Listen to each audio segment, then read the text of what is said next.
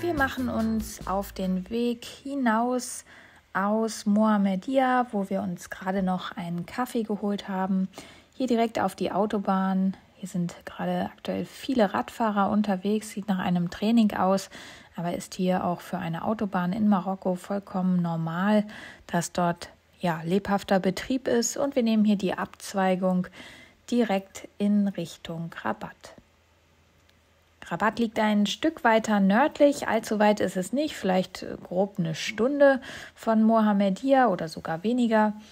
Und ja, wir werden diese Strecke jetzt erstmal noch zurücklegen, direkt ähm, hier am Vormittag, sodass wir den ganzen Tag, während wir in Rabat laden, dann nutzen können, um die Gegend zu erkunden, uns umzuschauen, noch Erledigungen zu machen oder einzukaufen und zu arbeiten. Denn Heute ist ja schon der allerletzte Tag hier für uns in Marokko. Rabat liegt noch ein Stückchen von der Fähre entfernt. Das letzte Stück werden wir dann in eins aber durchfahren. Deshalb nutzen wir hier die Zeit, um einfach nochmal auch ähm, ja, die Autos voll zu laden und die Ladezeit eben im Hellen bei Tageslicht zu nutzen, um dafür noch äh, ja, eine Großstadt wie Rabat anzuschauen denn der Rest der Fahrt werden wir dann doch eher auf Autobahnen verbringen und ja nur noch einen kleinen Ladestopp eventuell noch einlegen,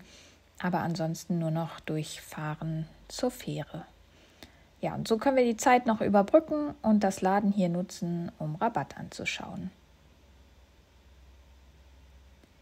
Die Strecke hier an der Atlantikküste ist berühmt für die schönen Strände und die Dünen und auch die felsigen Klippen. Und es ist wirklich eine vielfältige Küstenlandschaft mit ruhigen Buchten, aber auch mit lebhaften Strandabschnitten, die dann bei den Einheimischen und den Touristen sehr beliebt sind. Beliebt sind aber auch die Parks und Gärten. So gibt es in Mohammedia zum Beispiel eine einen Park der Mohammedia. Das ist eine sehr grüne Oase, sehr beliebt bei Einheimischen und Touristen. Und in Rabat gibt es ähnliche Gärten, ähm, viele Jardins mit exotischen Pflanzen. Und das ja, begrünt einfach das Umfeld dort nochmal sehr. Es ist wirklich schön angelegt alles. Ansonsten gibt es hier an der Küste ähm, viele verschiedene Vogelarten, Möwen, Seeschwalben, Zugvögel. Das ist hier die atlantische Zugroute. Daher kann man hier sehr viele Tierarten auch beobachten. Und im Meer gibt es dann natürlich unter anderem Delfine und viele verschiedene Fischarten. Mohammedia ist übrigens auch bekannt als die Stadt der Blumen. Ähm, es gibt dort einfach eine sehr entspannte Atmosphäre und es ist wirklich alles sehr begrünt, schön angelegt mit Pflanzen. Und eigentlich ist Mohammedia ein wichtiges Industrie- und Handelszentrum. Ähm, aber die Stadt hat eben auch viele historische und auch kulturelle Stätten traditionelle Märkte und auch moderne Einkaufszentren.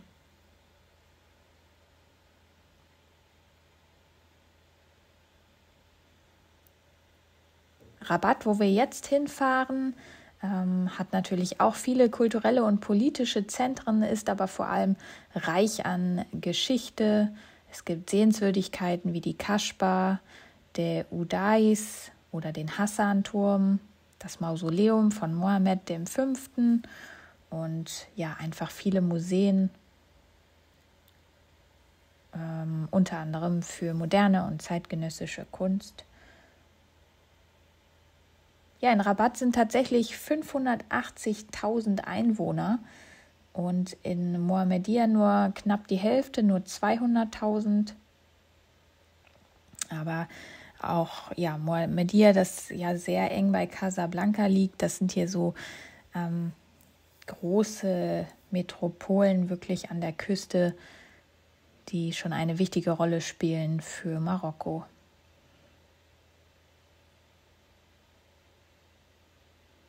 Mohammedia hat dagegen eher die Hafenanlagen und Industriestandorte, auch als Handelszentrum eben. Und Rabat ist eher das politische Zentrum und ja für die administrativen Dinge Marokkos, viele Regierungsgebäude und auch viele diplomatische Vertretungen. Genauso aber auch Bildungszentren und Universitäten oder kulturelle Institute, viel Kunst, Festivals, ja, eine Menge zu bieten auf jeden Fall.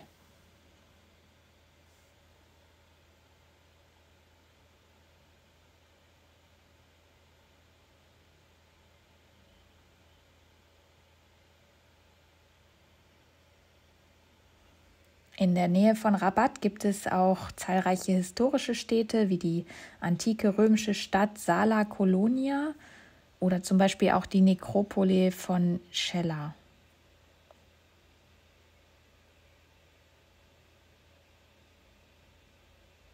Überall findet man natürlich gehobene Hotels oder Restaurants, Einkaufszentren und Freizeitmöglichkeiten. Das ist hier in den Großstädten wie Mohammedia und Rabat oder auch Casablanca, das ganz in der Nähe liegt, ja schon eigentlich relativ einfach, dort alles zu finden, was man so braucht im Alltag.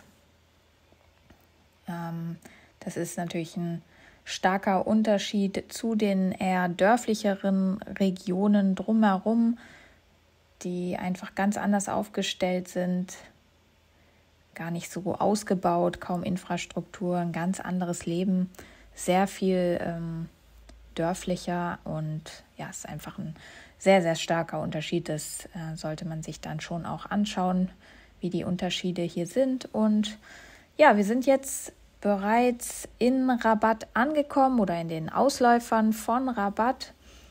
Ähm, sieht man auch wieder ganz schön hier alles mit Palmen eingerahmt, lange Alleen. Es ist eben die Königsstadt und wir fahren jetzt zunächst an einen kleineren Charger an einer Tankstelle.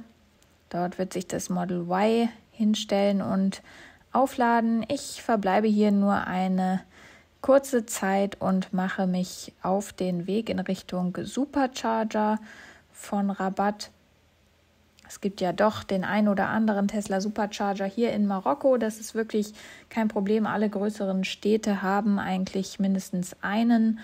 Und dort findet man auch aktuell sehr sicher einen Platz, da es einfach ja viel zu wenige Tesla-Fahrer hier in Marokko noch gibt. Trotzdem eine ähm, verlässliche Gelegenheit, dass man einfach weiß, in den Großstädten dort kriegt man auf jeden Fall ähm, ja, Strom und kann wieder aufladen, wenn man nicht gerade einen der zahlreichen anderen Ladesäulen verwendet.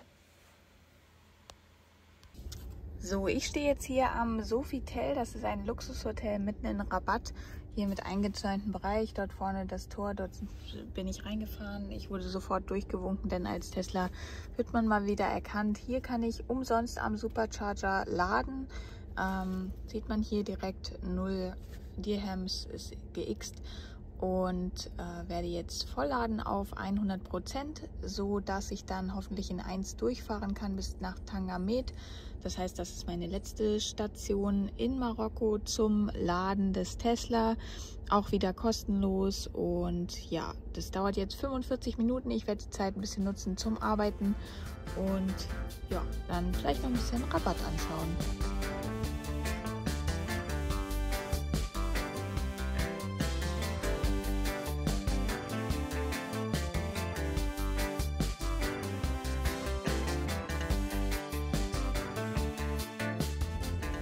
Sehen übrigens die Dirhams aus, die auch nur hier im Land getauscht werden können und auch nur begrenzt wieder mit hinausgenommen werden dürfen.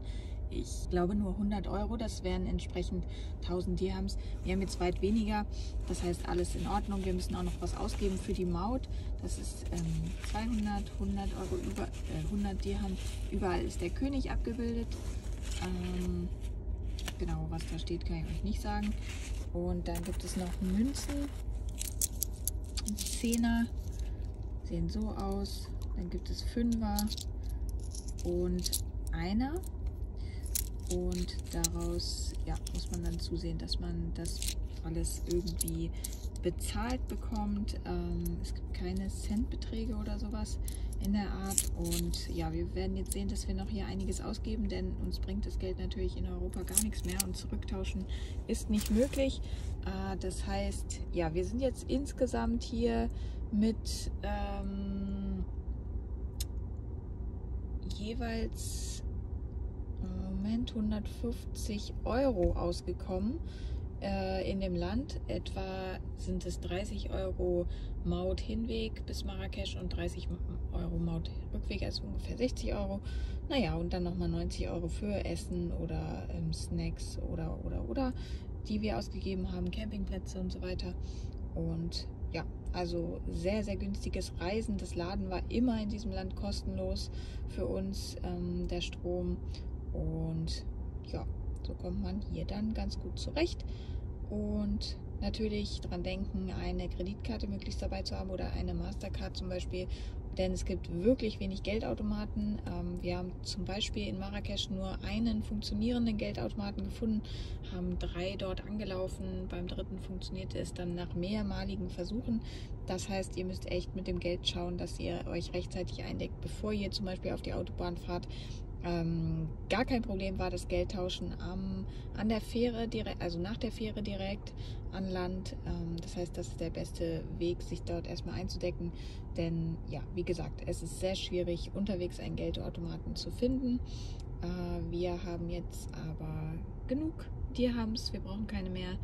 Ähm, ich nehme mal an, ja, 30 Euro etwa noch. Also das wird noch weggehen. Dann bleiben noch etwa 7 Euro übrig. Dafür lässt sich vielleicht noch einen Snack kaufen. Hier haben wir natürlich auch noch 25, 35. Ja, so circa 10 Euro sind noch übrig. Davon lässt sich noch der ein oder andere Snack bezahlen. Während da drüben gerade eine Party steigt, lade ich hier am Supercharger vor einem Luxushotel in Rabat. Mal die große Seltenheit, einen weiteren Tesla am Supercharger nebenan stehen zu haben. Ähm, ein Einheimischer aus Marokko mit marokkanischem Kennzeichen. Ähm, Habe ich, glaube ich, schon mal auf der Tour hier gesehen, aber ja, eine absolute Seltenheit.